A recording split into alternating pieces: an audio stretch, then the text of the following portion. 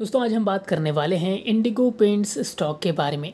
देखिए, आज के 15 मिनट चार्ट की अगर मैं बात करता हूँ, लगभग दो परसेंट की तेज़ी हमें देखने को मिली है। चौदह सौ अट्ठावन रुपये पर ट्रेड करता हुआ स्टॉक नज़र आ रहा है। वहीं थ्री आवर चार्ट की अगर मैं बात करता हूँ तो एक शानदार रैली स्टॉक में जारी है। अगर यही तेज़ी बरकरार रहती है तो आने वाले ट्रेडिंग सेशंस में जो टारगेट स्टॉक अचीव करेगा वो हैं पंद्रह सौ, सोलह सौ रुपये तक के टारगेट भी इंडिगो पेंट्स में अचीव होंगे। तो अगर आपके पोर्टफोलियो में इंडिगो पेंट्स शामिल है, कंटिन्यू होल्ड करें और यहाँ पर एक स्विंग ट्रेड का मौका भी स्टॉक बना रहा है तो बिल्कुल बाइंग करके चल सकते हैं इंडिगो पेंट्स में।